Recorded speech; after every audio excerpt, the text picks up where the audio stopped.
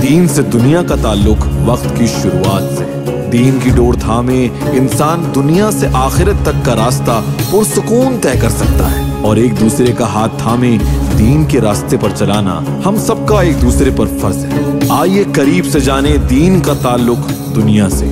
RJ Mahwish Khan के साथ सुनिए एफ़ एम सेवन के खसूसी प्रोग्राम राह हयात राह हयात असलकुम राय हयात में आपको एक बार फिर वेलकम आज मैं आपको इस्लाम के दूसरे सतून नमाज़ की ज़रूरत और अहमियत के बारे में बताऊँगी। अकबर अकबर। लास्ट एपिसोड में मैंने आपको बताया था कि इंसान के लाशूर में अपने खालिक को जानने की ख्वाहिश हमेशा रही। और इस चाह में उसने अपने लिए बहुत से बुत तराशे हर वो चीज़ जो उसको फ़ायदा पहुंचाती, वो सोचता कि शायद उसका खुदा वही है। जैसे दुनिया में अक्सर लोग सूरज को अपना देवता समझते थे। देखा जाए तो हमारी ज़िंदगी का वाक्यतन काफ़ी हद तक इनसार सूरज से हासिल होने वाली तवानाई पर है। खेतों में मौजूद फ़सलें सूरज की गर्माइश से पकती हैं। दुनिया में मौजूद सभी जानदारों को उसकी रोशनी, हरारत की हाजत है।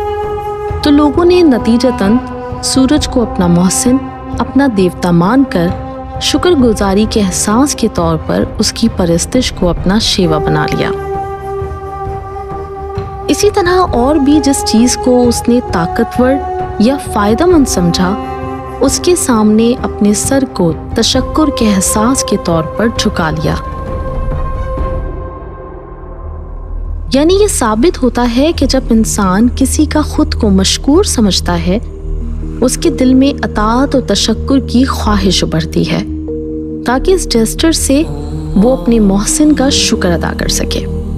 यकीनन इस पूरी दुनिया का निज़ाम चलाने वाला हमारा रब, हमारा अल्लाह ही है। वही है जो सूरज, चाँद, कायनात में मौजूद हर चीज़ का पालने वाला है। उसी के हुक्म से दरख्त फल और मवेशी दूध देते हैं।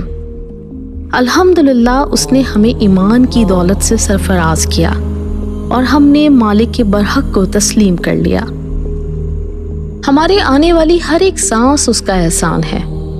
ये नेचुरल है कि रब को पहचानने के बाद, उसकी कुदरतों को जानने के बाद उसकी अतात और इबादत की जाए। वैसे तो उसका हक है कि हम उठते, बैठते, चलते, फिरते, सोते, जागते उसका शुक्र अदा करें। उसका ज़िक्र करें। इंसान को अल्लाह ने फ्री विल दी है।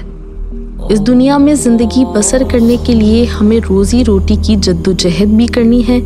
हमारी कुछ समाजी जिम्मेदारियाँ भी हैं।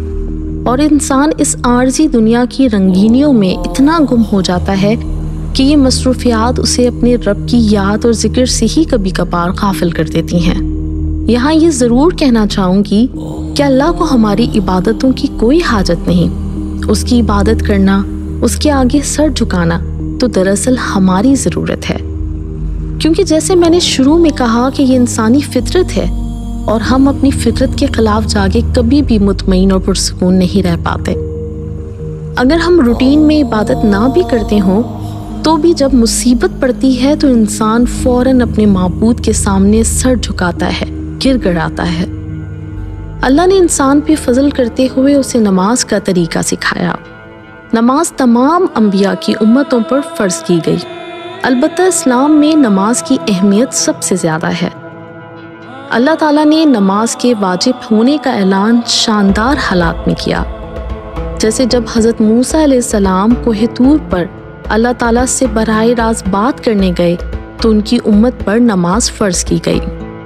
इसी तरह नबूत के आगाज़ के तकरीबन 11 साल बाद एक मौजाती सफ़र हुआ, जिसमें जब्राइल सलाम मोहम्मद सल्लल्लाहु अलैहि वसल्लम को महराज पे ले गए। ये वाक्य काफ़ी तवील है, इसलिए इसको मुकम्मल तौर पे नहीं सुना पाऊँगी।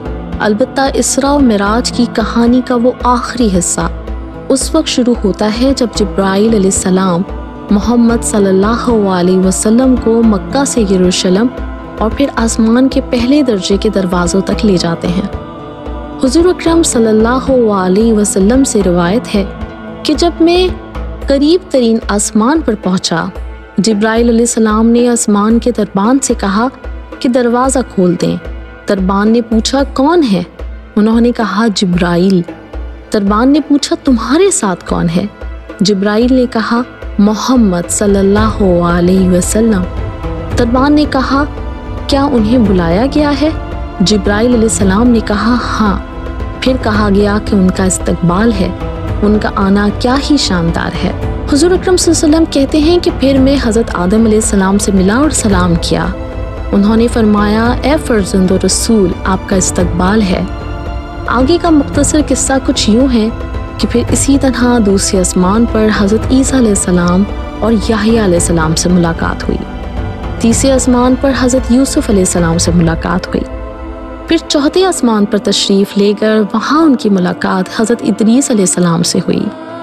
पाँचवें आसमान पर हज़रत हारून सलाम ने इस्तकबाल किया और छठे आसमान पर हज़रत मूसा सलाम से मुलाकात हुई। फिर यहाँ तक कि सातवें आसमान पर हज़रत इब्राहिम सलाम मिले। उन्हें सलाम किया, जिन्होंने कहा कि फ़र्जंद और नबी आपका इस्तकबाल है। फिर उन्हें बैतुल मामूर यानी खुदा का घर दिखाया गया। उन्होंने हज़रत जब्राइल सलाम से इसके बारे में पूछा तो उन्होंने कहा कि ये बैतुल मामूर है, जहाँ रोज़ाना सत्तर हज़ार फरिश्ते नमाज़ पढ़ते हैं और जब वो वहाँ से निकलते हैं तो कभी वापस नहीं आते। लेकिन इसमें रोज़ाना एक नया ग्रोह आता है।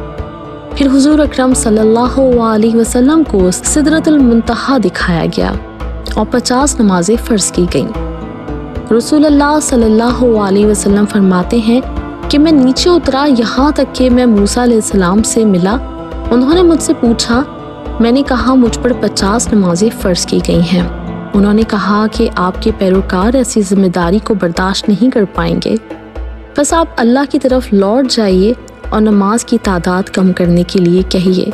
मैं वापस आया और अल्लाह से कम करने का सवाल किया तो उन्होंने चालीस कर दी। मैं फिर वापस आया और हज़रत मूसा सलाम से मिला। इसी तरह की बातचीत की, फिर अल्लाह के पास कमी के लिए वापस गए। इस बार नमाजों की तादाद तीस कर दी गई। उसके बाद बीस, फिर दस। फिर मूसा सलाम के पास पहुँचे तो उन्होंने वही नसीहत दोहराई। बिलाखिर अल्लाह ने इसे घटाकर पाँच कर दिया। हुजूर अकरम वसल्लम जब दोबारा हज़रत मूसा के पास आए तो उन्होंने कहा कि आपकी उम्मत ये भी बर्दाश्त नहीं कर पाएगी। इस पे हमारे नबी करीम सल्लल्लाहु अलैहि वसल्लम ने जवाब दिया, अल्लाह ने इन्हें पाँच कर दिया है और मैंने अपना सर तस्लीम खम कर दिया है। अल्लाह ताला ने फरमाया कि मैंने अपना फ़र्ज़ अदा कर दिया और अपने बंदों पर बोझ हल्का कर दिया और मैं एक नेकी का बदला दस नेकियों के बराबर दूँगा। कुरान पाक की सूरतरा की आयत नंबर 78 में अल्लाह ताला फरमाते हैं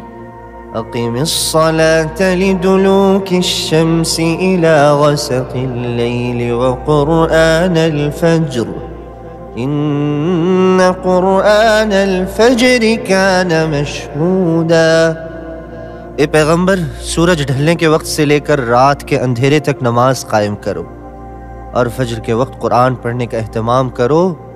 याद रखो कि फजर की तिलावत में मजमा, यानी फरिश्तों का मजमा, हाजिर होता है। नमाज़ को अरबी में सलात कहते हैं, जिसका मतलब है जोड़ना या राबता रखना। नमाज़ हमें हमारे रब से जोड़ती है। पाँच वक्त की नमाज़ अल्लाह की याद से गाफिल नहीं होने देती, और इंसान को हर वक्त ये ख्याल रहता है कि उसका रब उसकी तमाम हरकत सकनात से वाकिफ है। यूँ नमाज़ इंसान को बुराइयों से बचाती है। नमाज़ के एक मायने दुआ के भी हैं। नमाज़ हमें मौका देती है कि हम अपने रब से बातें कर सकें। मुश्किल परेशानी में नमाज़ हमारे दिल की बेचैनी को दूर करने में मददगार साबित होती है। अल्लाह ताला सूर्य बकरा ही की आयत नंबर 48 में फरमाते हैं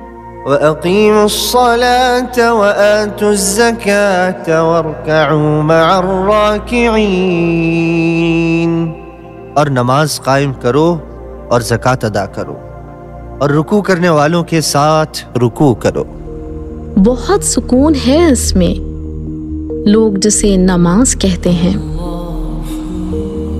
मलाइका हर लम्हा अल्लाह की इबादत करते हैं और दुनिया में मौजूद अल्लाह की हर मखलूक, उसका ज़िक्र, उसकी इबादत करती है। बाहसीत इंसान हम उन तरीक़ों से नावाकिफ़ हैं, जिनमें जानवर और पौधे अल्लाह को याद करते हैं। अल्लाह ने हमें सूरत नूर की आयत नंबर 41 में बताया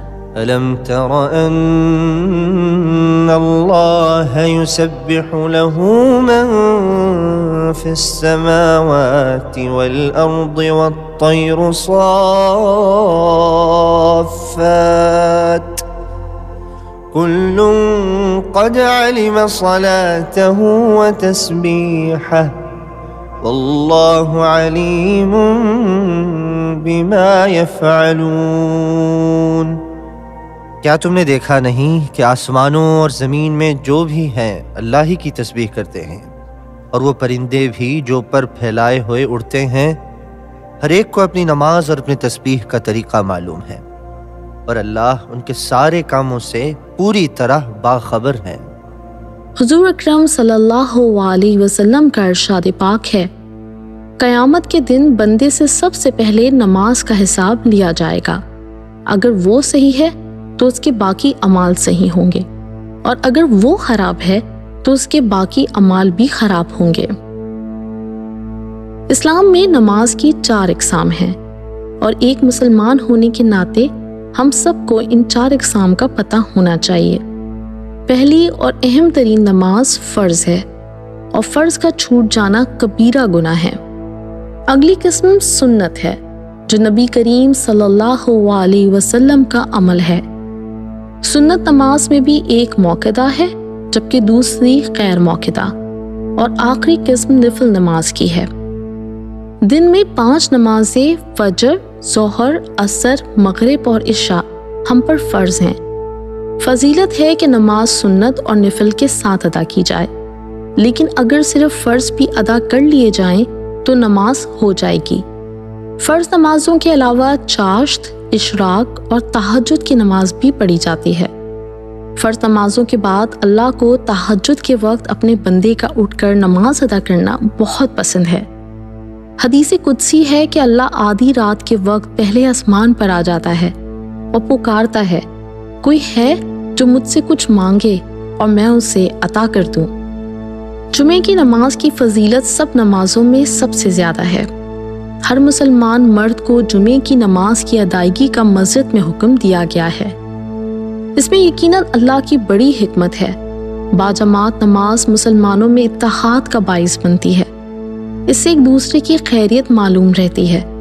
नबी करीम सल्लल्लाहु अलैहि वसल्लम और साहबा कराम के दौर में मस्जिद सिर्फ़ नमाज़ की जगह नहीं थी, बल्कि तरबियत गाह भी थी। घर पे नमाज़ पढ़ने के मुकाबले में मस्जिद में नमाज़ की अदायगी की सूरत में अल्लाह ताला बेहतरीन सवाब अजर से नवाजते हैं। मुसलमानों को नवाफिल का अहतमाम भी करना चाहिए और नमाज़ के ज़रिए ही अल्लाह ताला से मदद तलब करनी चाहिए। नमाज़ को उनके मुकर्रा वक्त पर पढ़ने की फजीलत है। जो शख्स भी बेहतरीन अंदाज में वज़ू करे, खुशू और खुजू से रुकू, सजदे और क़याम करे अल्लाह का वादा है कि वो उसे माफ़ कर देगा।